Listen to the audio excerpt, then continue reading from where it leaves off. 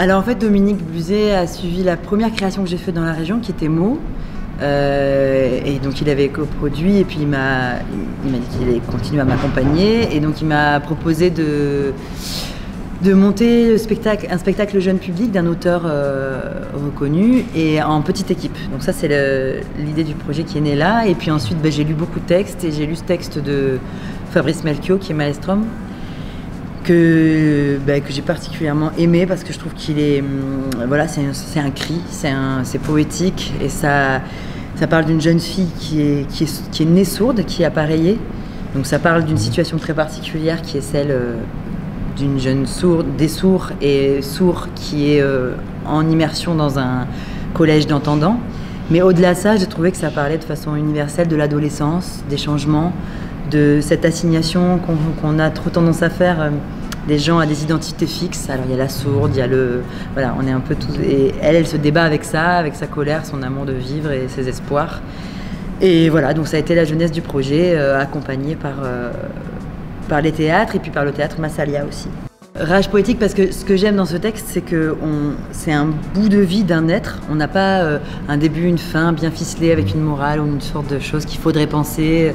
il nous livre, euh, il nous livre cette, c'est une fille en colère, cette colère qui est euh, la colère saine de cette, qui me semble assez particulière à cet âge, mhm. qui est bien cultivée après, mais voilà.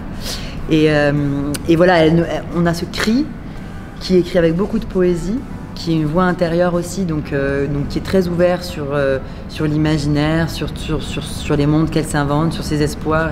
On ne sait jamais exactement quelle est la réalité ou pas, c'est vraiment par le prisme de ce qu'elle perçoit. Et, euh, et, voilà, et qui, et qui je trouve qu'il a écrit de façon très poétique. Pas, on n'est pas dans un théâtre documentaire, on est dans un théâtre très poétique. Et en même temps, il est adressé aux, collè aux collégiens, et elle-même est collégienne. Et il y a quelque chose de très spécifique de cet âge de mutation. En fait, on assiste, euh, pendant cette heure de spectacle, on assiste au deuil de l'enfance et au passage à l'âge adulte. d'une, voilà, comme un animal qui quitte sa mue euh, et qui mue devant nous. Euh, voilà, dans une, grande, dans une grande rage qui, moi, me paraît très belle et, bah, comme je le dis, que j'espère que j'aimerais pouvoir, qui est la part d'adolescence qu'on a chacun en nous et qu'il faudrait pouvoir continuer à, à nourrir cette rage. L'idée, c'est que comme elle est, ce qu'on sait, c'est que c'est très urbain. Elle parle de la ville, elle, est au milieu, elle est perdue dans cette grande ville. Donc il y a quelque chose des grandes villes qui galopent d'aujourd'hui, mm. euh, où on perd un peu, où on n'a pas, ouais, on est, on est personne, on n'est pas vu. Il y a beaucoup la question de l'invisibilité, qui est aussi une question de la communauté sourde, qui se bat aussi contre son invisibilité politique.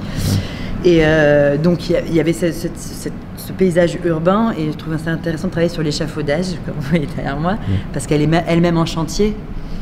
Et, euh, et, voilà, on est dans cette espèce de matériau très en chantier, très pauvre, mais qui peut devenir très beau. Et, euh, et c'est sur ça aussi qu'on a travaillé sur l'éclairage. Après, sur l'univers lui-même, on est vraiment parti, je suis vraiment partie de la question de la surdité, c'est-à-dire comment à la fois porter ce texte qui est un texte théâtral et à la fois créer une expérience sensorielle et un dispositif pour le spectateur. Et donc, euh, on a travaillé euh, au niveau avec le créateur sonore à qu'est-ce que c'est qu'être appareillé, qu'est-ce que c'est que percevoir le monde quand on est appareillé, qui est évidemment pas du tout l'équivalent de l'ouïe, puisque c'est, on n'a pas les mêmes fréquences. Il y a des, c'est, voilà, c'est des, appareils, c'est compliqué. Mm. C'est pas si simple, ça peut être douloureux. Et à la fois visuel, parce qu'à beaucoup écouter les sources que j'ai fait à partir du moment où le projet s'est c'est monté, euh, évidemment, ils ont une mémoire et une façon de penser qui est plus visuelle. Et puis ça me semblait important aussi que ça puisse être, c'est aussi pour les sourds. Donc, euh, donc il y avait un travail visuel avec, euh, avec de la vidéo. Et une des choses, un des axes importants, ça a été de travailler à la rencontre des deux, c'est-à-dire comment le son, qui est une vibration, crée de l'image et comment les sourds ont en fait une perception du, par exemple de la musique qui est par la vibration d'un caisson de basse, mais aussi par les dessins que peuvent faire ou la bâche quand elle est contre le, contre le sub, ou, du sable, ou du vent, enfin voilà, toutes ces matières que le son fait bouger. Mm. Et puis pour le choix des comédiens, euh, moi je voulais absolument travailler avec des comédiens plus jeunes que moi, jeunes, mm-hmm. euh, de la vingtaine. Et donc j'ai fait des auditions à l'Irak et à, l'ENSAD à Montpellier, et, deux comédiens et musiciens euh, avec lesquels j'avais déjà travaillé, puisque j'avais fait des stages à l'ENSAD. voilà, c'était important pour moi.